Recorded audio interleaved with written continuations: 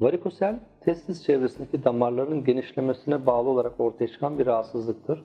Erkeklerde kısırlığa yol açabilir. Bunu sperm sayı ve hareketini azaltarak e, sebep olabilir.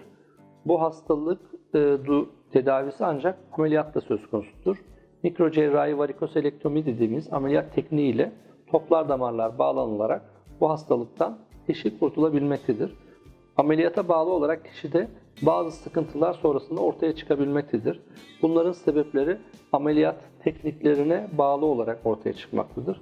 Özellikle mikroskop kullanılmadan varikosel ameliyatı yapıldığında lenf damarlarının bağlanmasına bağlı olarak testiste hidrosel dediğimiz su toplaması ve sorunu ameliyattan 1-2 ay sonra ortaya çıkabilmektedir ve bu sorun da ancak ikinci bir ameliyatla tedavi edilebilmektedir. Veya e, arter dediğimiz testisi besleyen damarların bağlanması ve kesilmesine bağlı olarak testis kaybı görülebilmektedir.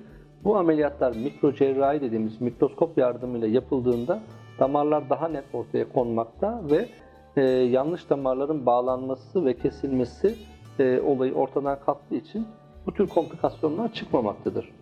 Ama bütün cerrahi e, yöntem tekniklerde ve ameliyatlarda görebildiğimiz yara enfeksiyonu, kanama gibi komplikasyonlar her ameliyatta olduğu gibi varikosel ameliyatı sonrasında gözükebilir.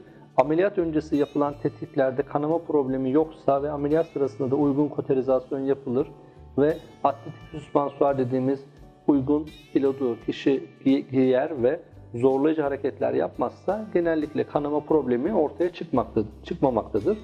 Kapalı bir bölge olduğu için ameliyat sırasında uygun e, temizlik ve e, sterilite kurallarına uyulduğunda ve kişiye antibiyotik tedavisi de 2-3 gün verildiğinde ameliyat sonrası yine yara enfeksiyonu ile ilgili bir probleme de rastlanmamaktadır.